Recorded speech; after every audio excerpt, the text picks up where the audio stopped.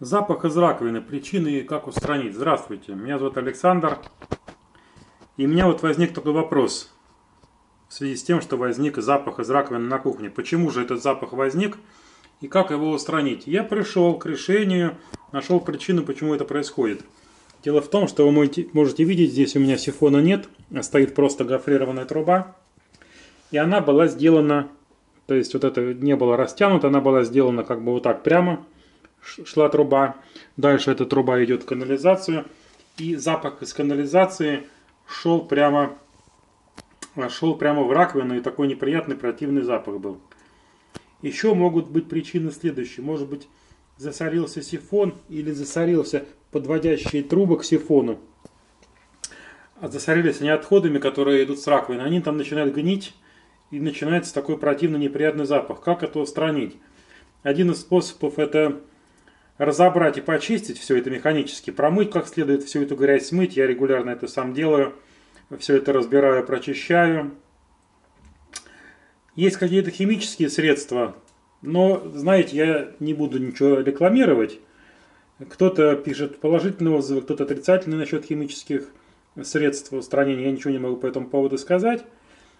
И вот что насчет этой гофрированной трубы. Она была напрямую, да. Я ее сделал вот так вот изогнутую. И получился такой улавливатель, улавливатель водяной улавливатель, улавливатель запаха. Какой принцип работы этого водяного улавливателя? В том, что запах, который идет из канализации, из трубы, он доходит примерно вот до этого уровня, а здесь вот остается вода. То есть вода течет, сливная, да, течет, течет, течет, стекает, и она примерно вот на этом уровне, она в шланге остается. То есть нет возможности из канализации запаху пройти через эту трубу, через этот гофрированный шланг и подняться вверх к раковине. Примерно по такому же принципу действует сифон, если он установлен у вас под раковиной, то есть в сифоне тоже там такой же принцип, что нет возможности через воду пройти этому неприятному запаху. Это вот одна из причин, которая была именно у меня на кухне, неприятного запаха из раковины.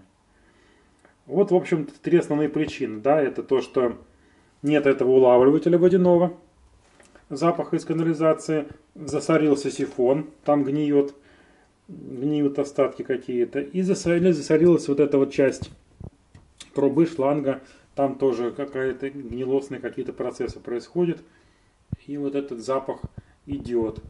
Спасибо, что посмотрели это видео, это все, что я хотел сказать про засор, засор и неприятный запах из раковины. Подписывайтесь на канал, смотрите новые видео, ставьте лайки, дизлайки. С вами был Александр. И удачи вам всем, пока.